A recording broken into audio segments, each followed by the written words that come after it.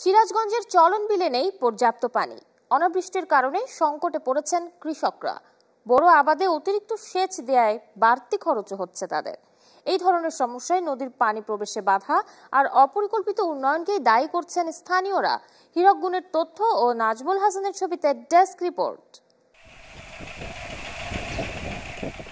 আঁকাবাঁকা শত রাস্তায় ছেয়ে গেছে পুরো বিল।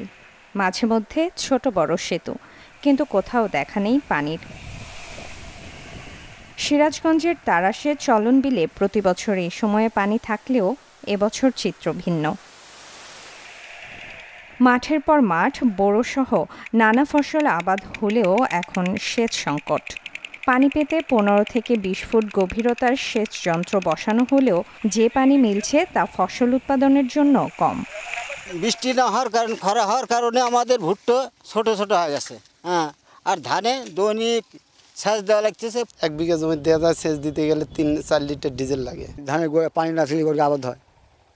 ফাইটি মাইটি সব নষ্ট হয়ে যাচ্ছে।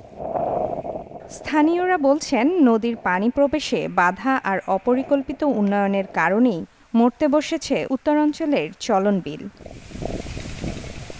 কৃষি বিভাগের কর্মকর্তা জানান ক্ষতি কমাতে নানা পরামর্শ দেয়া হচ্ছে। বৃষ্টি বা আবহাওয়ার এই তাপদাহের জন্য কৃষকদেরকে আমরা পরামর্শ দিছি যে যদি কোনোভাবে এই সময় রোগ বা পোকামাকড় আক্রমণ যদি হয়ে থাকে, তাহলে তারা অবশ্যই জানি সময় মতো কীটনাশক প্রয়োগ করে।